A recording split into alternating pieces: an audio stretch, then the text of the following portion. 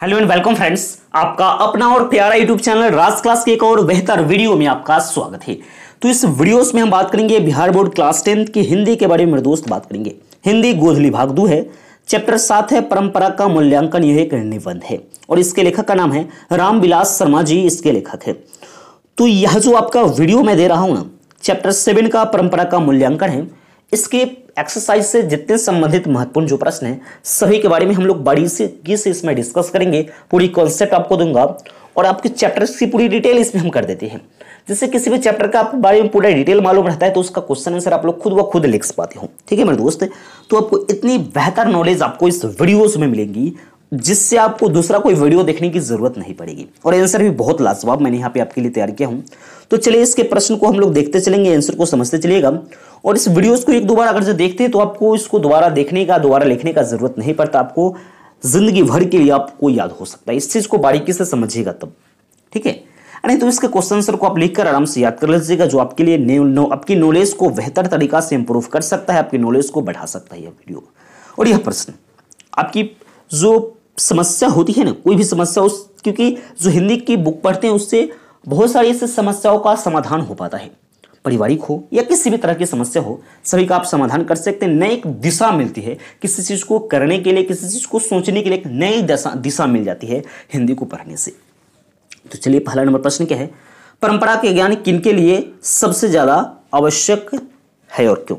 जो परंपरा का ज्ञान हो रहा है, वह किन के लिए सबसे ज़्यादा आवश्यक है और क्यों? तो देखिएगा, जो लोग साहित्य में युग परिवर्तन करना चाहते हैं, जो लोग साहित्य में युग का परिवर्तन करना चाहते हैं, जो जो लोग लकीर के फकीर नहीं बनकर रूढ़िया तोड़कर क्रांतिकारी साहित्य की रचना करना चाहते हैं, रचना चाहते हैं, उनके लिए साहित्य की परंपरा का ज्ञान सबसे ज़्यादा आवश्यक है, सबसे ज़्यादा महत्वपूर्ण है। ये भी आपको आप समझ रहे हैं, ठीक है? क्योंकि परंपरा के ज्ञान से प्रगतिशील आलोचना का विकास होता है, प्रगतिशील आलोचना। अर्थात, प्रगतिशील परंपरा, आलोचना, साहित्य परंपरा का मूर्त ज्ञान है। ये इसमें बता रहे हैं आपको। फिर दूसरा नंबर जो प्रश्न क्या है? क्या हैं?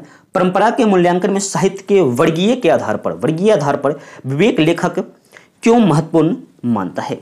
ठीक है तो परंपरा के मूल्यांकन में साहित्य के वर्गीय के आधार पर विवेक लेखक महत्वपूर्ण मानता है। विवेक को लेखक महत्वपूर्ण मानता है क्योंकि साहित्य की परंपरा का मूल्यांकन हेतु प्रथम उस साहित्य का मूल्य निर्धारण आवश्यक है।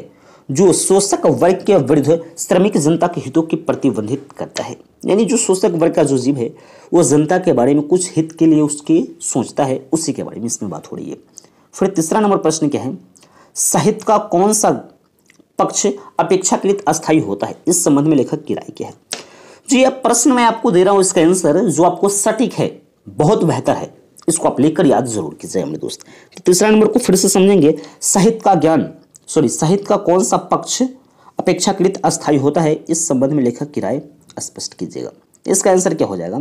साहित्य मनुष्य के संपूर्ण जीवन से संबंध है। जो साहित्य है ना, मनुष्य के एक संपूर्ण जीवन से संबंध रखता है। आर्थिक जीवन के अलावा मनुष्य एक प्राणी के रूप में भी जीवन बिताता है। यानी आर्थिक जो जीवन है, उसके अलावा जो मनुष्य एक प्राणी के रूप में अपने जीवन को यहाँ पे व्यतीत करता है। साहित्य में मनुष्य को बहुत सी आदिम भावनाएँ, उसकी आदिम भावनाएँ प्रतिफलित होती है, यानी प्रतिफलित उठते रहता है उसी तरह की आदिम भावनाएँ। जो उसे प्राणी मात्र से जोड़ता है, उसको एक दूसरे, एक प्राणी से दूसरे प्राणी में वो जोड़ता है, संबंध को जोड़ता है। साहित्य केवल विचारधारा मात्र नहीं है। जो साहित्य है, एक विचारधारा नहीं है, बल्कि उसमें मनुष्य का इतिहास का बोध उसकी भावनाओं को व्यंजित होती है। यानी साहित्य को सीखने से एक दूसरे मनुष्य की मन की लगाव होती है। यह कागज़ पर ही एक विचारधारा मात्र नहीं है। एक विचार नहीं है साहित्य। वह एक मन से दूसरे मन के एक मिलन के रूप में बताता है, इतिहास में वो बता रहा है कि मनुष्य का इतिहास बोध उसकी भाव, भावनाओं भी व्यंजित होती है। साहित्य का यह पक्ष अपेक्षाकृत अस्थायी होती है। फिर अगला नंबर जो प्रश्न आता है, राजनीतिक मूल्यों से साहित्य का मूल्य के अधिक अस्थायी कैसे होते हैं? इसका आंसर क्या होगा? राजनीति का मूल्य से साहित्य के मूल्य से अधिक अस्थायी होता है। जो राजनीति का मूल्य है साहित्य के मूल्य से एक अस्थायी होता है। इस पक्ष में लेखक कहते हैं कि अंग्रेज़ कवि टेनिसन ने लैटिन कवि वर्जिल पर एक कविता में लिखा कि रोमन साम्राज्य का वैभव समाप्त हो गया है। एक कविता में उन्होंने लिखा कि जो रोमन समाज है, उसका वैभव समाप्त हो गया है। पर वर्जिल के काव्य सागर की ध्वनि तरंग हमें आज भी सुनाई देती है। जो वर्जिल है, उसकी काव्य ध्वनि जो आज भी हमें सुनाई देती है, लेखक कह रहा है, और हृदय को आनंद विहलन कर देता है। उसी प्रकार जब किसी साम्राज्य का राजनीतिक मूल्य समाप्त हो जाता है, कोई भी समाज, साम्राज्य हो, उसका राजनीतिक जो मूल्य है समाप्त हो जाएगा तो वहाँ के कवि साहित्यकार संस्कृति के आकाश में चमकते नज़र आएँगे। वहाँ के कवि जो आकाश में चमकते नज़र आएँगे तो उसका प्रकाश पूर्व की ओर से अपेक्षाकृत करोड़ों लोग की नई दिशा देगी। ये इसका आंसर हो जाएगा। फिर अगला नंबर पाँच नंबर प्रश्न क्या है? क्या कह रहा है? भारत की बहुजातीयता, मुख्यतः संस्कृति और इतिहास की देन है कैसे? तो भारत की बहुजातीयता मुख्यतः संस्कृति और इतिहास की देन है, क्योंकि यहाँ राष्ट्रीयता एक जाति द्वारा दूसरी जाति पर राजनीतिक प्रभुत्व कायम करके स्थापित नहीं करती है, स्थापित नहीं हुई है। बल्कि हमारी राष्ट्रीयता बहुजातीय को अपने में परोकर, पिरोकर अद्वितीय माना जाता है। फिर अगला जो क्वेश्चन नंबर आता है छः नंबर। निबंध का समापन करते हुए लेखक कैसे स्वप्न देखता है, उसे साकार करने में परंपरा को क्या भूमिका हो सकता है, विचार कीजिएगा। इसका आंसर हो जाएगा, लेखक निबंध का समापन करते हुए, उस दिन का स्वप्न देखता है। ये अपने निबंध को समापन करते हुए उस दिन का स्वप्न देखता है, जब देश में समाजवादी व्यवस्था कायम होगी। उस दिन अधिक से अधिक लोग साक्षर होंगे, तब वे साहित्यकारों की रचना हो को पढ़ेंगे। उस समय वो साहित्यकार की जो रचना है ना, उसको बारीकी से पढ़ेंगे। जब पढ़ेंगे तो उसका साहित्य का, उसका पूरा परिचय होगा। साहित्य से उसका पूरा परिचय हो जाएगा। सही अर्थ में साहित्य परंपरा का ज्ञान कर पाएँगे।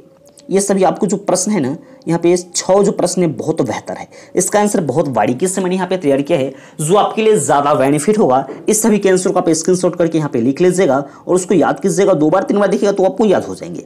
क्योंकि यह बहुत आराम से लिखा गया है। आपके लिए बेहतर अंदाज में लिखा गया है। कोई दिक्कत नहीं होगा, याद करने में जल्दी से जल्दी याद हो जाएगा। एक बार अगर ज़्यादा समस्या होगा तो इस चैप्टर को पढ़ लीजिएगा। परंपरा का जो ज्ञान है ना, उसको आप एक बार पढ़ लीजिएगा। उसका इसके प्रश्न आपको आराम से याद हो जाएँगे मेरे दोस्त। इस वीडियो को अपने सभी दोस्तों के पास एक बार ज़रूर से ज़रूर शेयर कीजिएगा। अगर से आप लोग हमारे चैनल पर नए हैं तो चैनल को सब्सक्राइब कर लीजिएगा। वे नोटिफिकेशन को ज़रूर से ज़रूर ऑन कीजिएगा, ताकि मेरे वीडियो का नोटिफिकेशन आपको सबसे पहले मिलता रहेगा। तो मिलते हैं नेक्स्ट वीडियो में, तब तक के लिए जय हिंद।